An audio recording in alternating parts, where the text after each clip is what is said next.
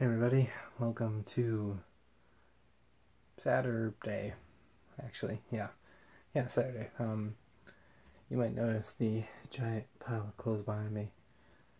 I severely underestimated the amount of clothes that I need to do and other stuff around the house, like cleaning my room and stuff, which admittedly isn't done yet, but it's mostly done. It's just like organizing that closet mostly.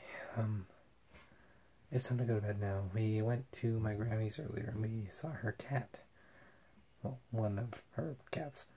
And that took a pretty solid chunk out of my day. I don't regret it.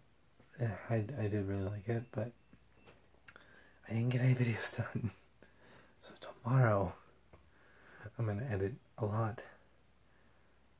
I'm going get real tired of stuff stopping me from editing. Tomorrow. Today, technically. I'm to sleep now. Good night.